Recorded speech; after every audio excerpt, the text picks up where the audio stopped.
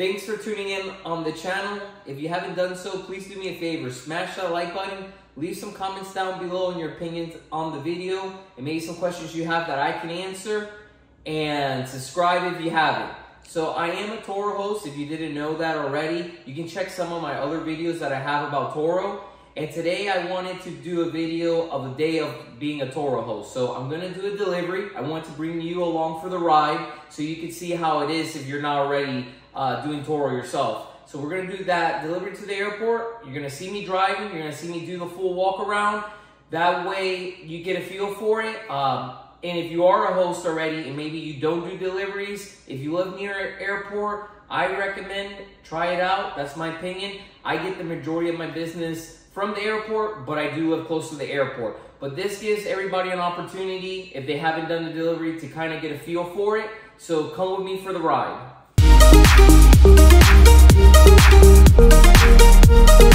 All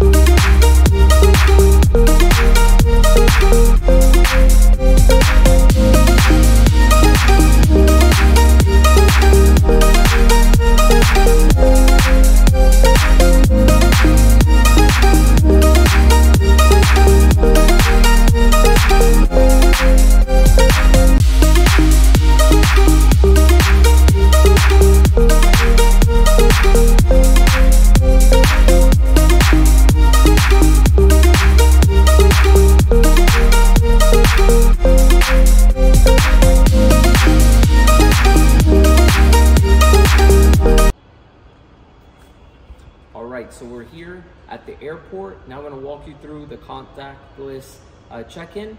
So you'll see everything, follow me.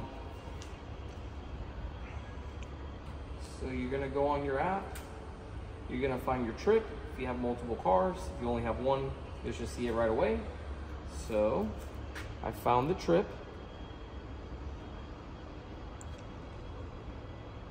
As you can see, found the trip. Um, now we're gonna get started.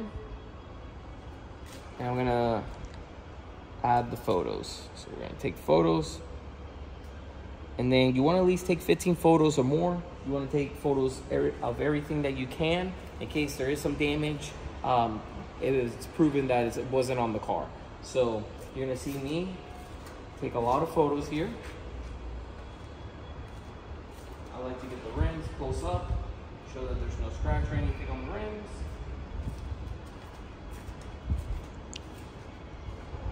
I also like to get the windshield, show that there's no cracks or anything. The roof. The sides.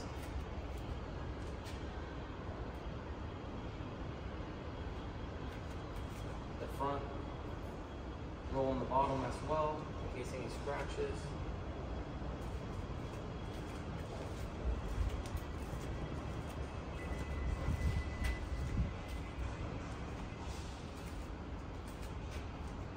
All the wheels.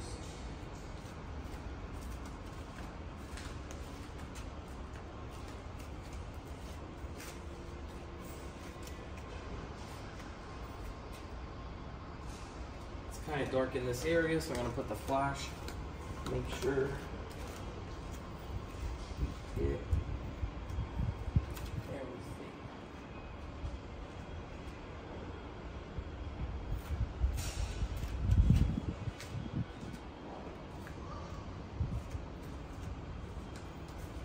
So I have 18 photos.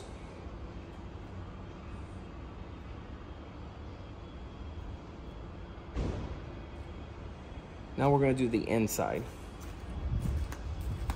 So something very important, you wanna get the dash showing the miles and showing that the car is full. That way if the guest brings the car back and it's not at the same fuel level that you left it with, you have proof. And that way you can get reimbursed for it. And then uh, Turo's gonna charge you a $10, uh, it's gonna charge the guest $10 fee for that. So you're gonna get the money back for refueling plus $10. So you actually make a little bit money off of it.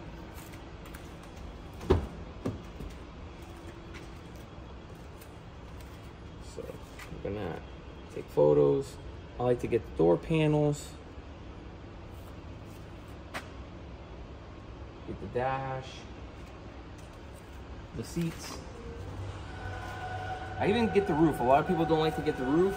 I like to get it just in case people um, damage it or kids color on it by accident. You want to get everything. You never know what can happen. Different people are in the car. Always, um, you never know what someone will do. I also like to make sure to show that the spare tires in the car and everything.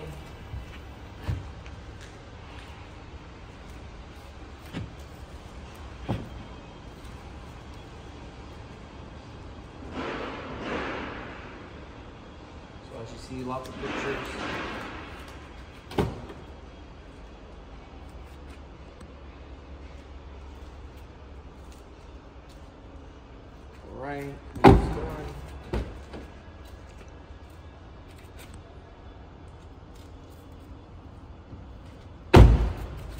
Right, now I'm gonna get the dash.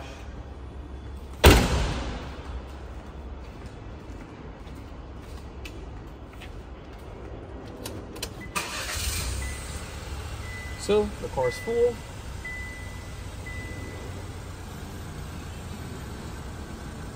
Take photos of that. Here's my proof. Then, you're gonna go ahead and and then you're gonna put the miles in the fuel. So attach photos, save.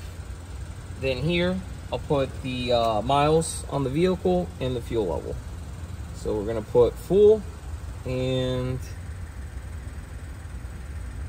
the miles. So did that. And so got all that. Now we're going to get the lockbox for the guests when they come.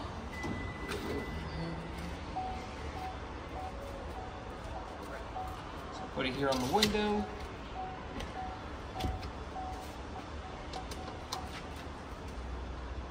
Put the ticket there in the cup holder for the guest, which this will vary. This is only because we're doing airport. We have a parking ticket in there. Now you're gonna hide our code.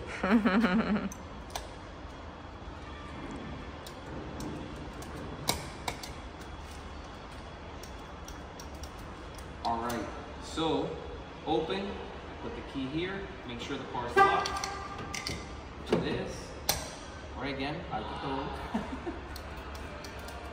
Just joking, but you do want to keep that a secret. Here, car is locked. We'll do a walk around, we'll check. All right, so you saw us do the walk around. Again, very important. Make sure you're getting at least 15 pictures of the exterior. Get more if you can. The more, the better. The interior, get a ton of pictures. Make sure you take a picture of the dash showing your fuel, the miles, in case the guest goes over on miles or doesn't return it on the proper fuel. And uh, of course, also if there's any damage. It's very important. So I highly recommend that you don't skip this step. And also when they return it, make sure to do the same thing. Even if you do a walk around, you see that the car's perfectly fine. It's very important because you might miss something and if you didn't take pictures and 24 hours pass by after the vehicle's been returned and you didn't catch that damage, guess what? Now it's gonna come out of your pocket, you can't get reimbursed. So make sure you're taking the photos, even if you think you don't need to, always do as my tip, my recommendation. You saw this is a contactless, so we have the lockbox. This is what we do, because sometimes we can't see the guests, so we like to do it this way, and we just communicate with them through the app. So now you got to see uh, how I do it. You saw me drop off a car for a guest that's going to be coming soon for the vehicle. And hopefully this helped you. If you're thinking about joining Turo, you kind of get an inside idea. And if you are already doing Turo, hopefully this uh, gave you some tips to help you with your car and growing your fleet. Thanks for watching. Please don't forget to leave some comments down below. Don't forget to subscribe and check some of my other videos. Thanks for watching.